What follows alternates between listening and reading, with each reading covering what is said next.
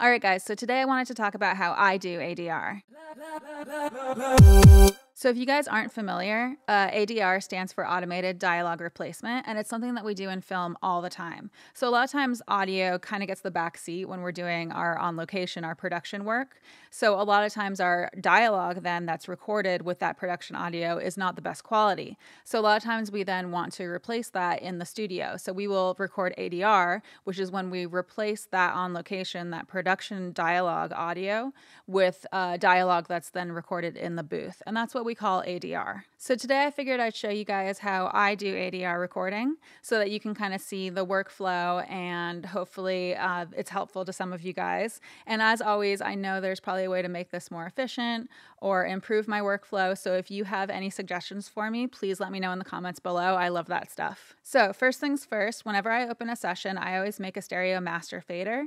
So I'm going to do Command Shift N to create a new track. I'm going to do stereo, master fader, and I'm just holding command and using the arrow keys to toggle between these options here. So stereo, master fader, create. And then what I'm gonna do is I'm gonna import my video. So I'm gonna import a video here. And I'm just going to import a video that's a video from a previous episode that I made because I don't want to have any copyright infringement placed upon this YouTube video. So I'm just using one of my previous videos. Uh, I'm sorry, guys, that's what I'm doing.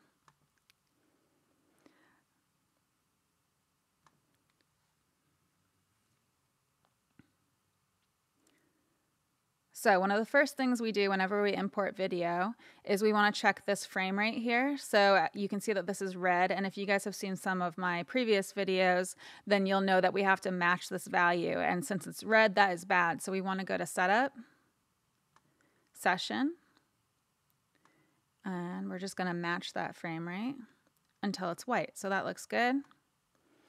And so this is the original audio from this video. And so we're just going to pretend that this is the production audio that is no good, right? So when we're ready to record ADR, what we want to do is we want to do Command Shift N to create a new track.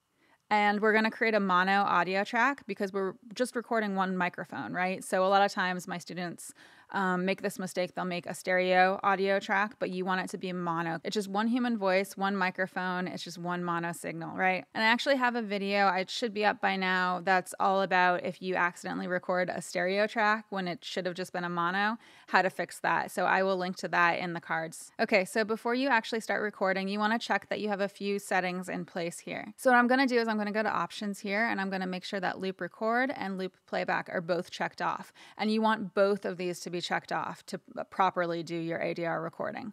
So just make sure that that's a thing, that that is there. And then the other setting that you want to make sure you have, a lot of times you don't, I don't check this every time I actually do ADR recording. Um, another way you can check it is just do a dry run of a record and see if it automatically playlists, which I'll show you guys in a second here.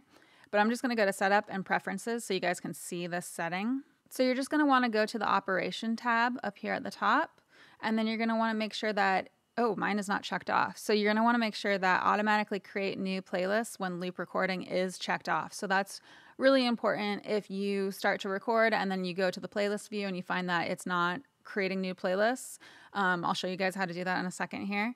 Uh, then this is where you're going to find that setting to fix that issue. So you want to make sure that this is checked off and that you have loop record and loop playback checked off. So now all the settings are in place to do ADR recording. So I have a video that's all about preparing to record and all the stuff to think about as you're starting a recording. So I'm going to actually link to that at the top of the screen here with one of my cards but I'm basically going to assume that you guys understand those concepts. You understand, you know, how to record enable a track, how to set your gain levels properly, and all that stuff. You know, all the stuff like making sure that your uh, actor or you know your whoever's doing the performance is warmed up stuff like that.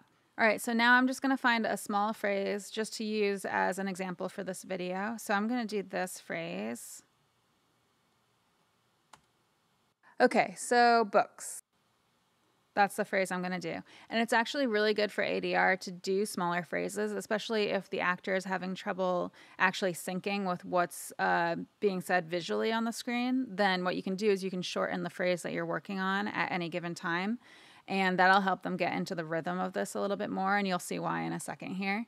But i do recommend doing smaller phrases and you know if they're having trouble just reduce that phrase. So i'm just going to do this phrase as my example but basically what you want to do is you want to just highlight that phrase and a lot of times what i will do is i will actually um, drop a marker. So i'm going to drop one here and one here and so you'll notice these markers were uh, numbered one and then two so I can use my shortcut to jump to markers. I can go on my numeric keypad, period one, period, and then hold shift and go period two, period. And now I have the highlight for that phrase. So if you're moving around and you're just worried about being able to jump right back into that highlight super easily, uh, that's one thing you can do is drop markers so that you can find that highlight again. So what I'm gonna do is I'm gonna set my input here.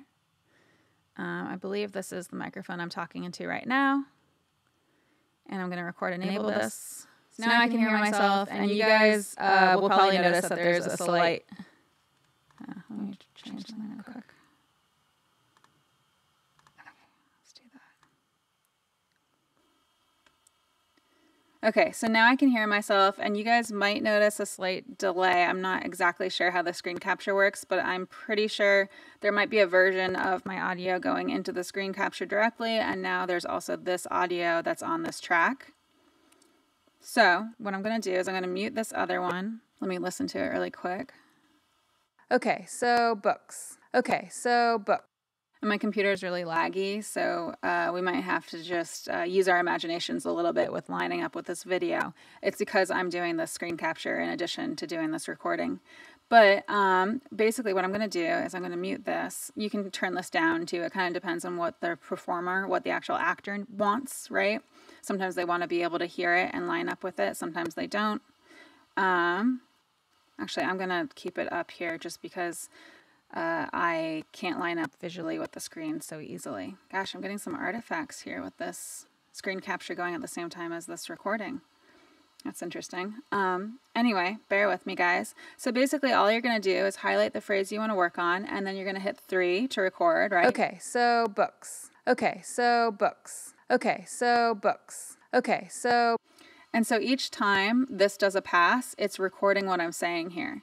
So later, I'm going to go look, I'm going to have all these uh, versions of my audio as takes, different takes that are lined up visually with this one uh, segment of time on the actual screen. Um, okay, so my Pro Tools is having trouble.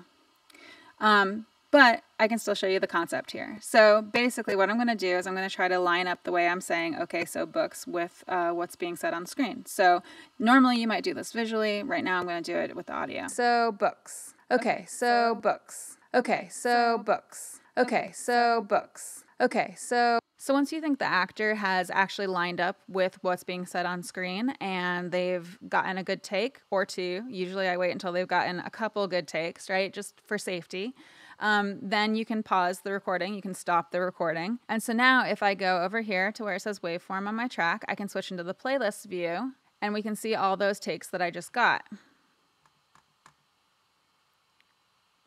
So again, that's why we went into setup and then preferences and made sure that that automatically create playlists when loop recording, I believe is what it said um, made sure that that was checked off, right? That's so that these are actually auto generated. And when we switch into playlist view, we actually have content here. So now you've basically done the ADR recording. And now what you want to do is when you are comping, is a lot of times my first thing that I do here is I now create a new track here, a new playlist. And that's, sorry, I like went ahead of myself here. So that's by clicking on this little arrow here. And then you uh, select new playlist. So I might name this like the comp Maybe I'll name it Final Comp. I hit OK. And so now it's created a new playlist here that's completely empty. So once I've done a whole bunch of phrases here, I will then create this new playlist to comp to. And then you can go through and you can listen. So I think this is one of the times I was actually saying the phrase. So if I hit play, I'm not going to hear anything because um, this is muted. So yeah.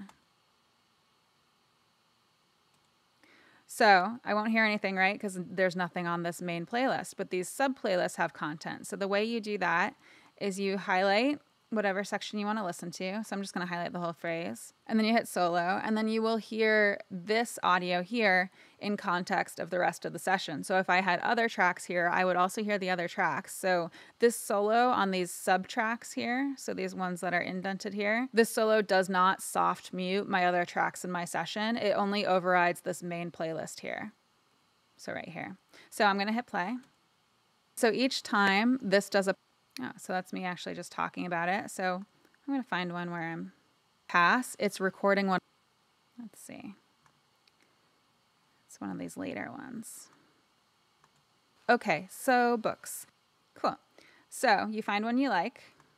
Okay, so books. Okay, so books. You know, it's not necessarily um, ideal that I can't see what I'm doing here on the screen. Oh, that's a lovely face. Um, but you know, ideally, you're not doing a screen capture while you're doing ADR and you have a powerful enough computer. So ideally, you'd be able to see what's going on here and you'd be able to line up that ADR with what's going on visually and confirm that it's good. So let's say this one's good. So what I want to do is highlight whatever part of the phrase or complete part of the phrase that I want. And then I'm just to, you'll notice this up arrow becomes active. So I can just hit up and now it is on my main playlist here at the top. And so I can also just comp different parts of the phrase together. So I can comp this part. So I just hit that up arrow. So now you'll see I have a combo, an actual comp of those two phrases put together. Okay. And I still have this soloed, so I'm actually just hearing this one. So I want to unsolo that. Okay, so books. So that's basically how you do the comping. So you just go through the film, pick the phrases that uh, lined up that sounded good, and then you would uh, comp those up to the top using these little arrows and using the solo buttons to hear them. And then once you're all done comping, you just go where it says playlist here, switch over to waveform, and now you have your uh, your edited, your comped track uh, all in one place. And you'll want to probably do crossfades and fades so you avoid speaker pops. And that's it. That's how you record ADR. That's how you comp the ADR once you're done. Um, I hope my issues with my computer lagging with this uh, video file and the screen capture wasn't too much of an issue for you guys. Um, you know, let me know what you think in the comments below if you found this helpful. Um, I love hearing from you guys. So, yeah, that's about it. As usual, like, comment, subscribe, all that stuff that YouTube people love. I would really appreciate it. I appreciate all your support. And if you do want to support my channel more directly, I do have a Patreon. So, it's patreon.com slash Cato Noise, and my patrons do get access to additional content. So, yeah, I come out with new videos every Wednesday, and thanks for watching. Okay.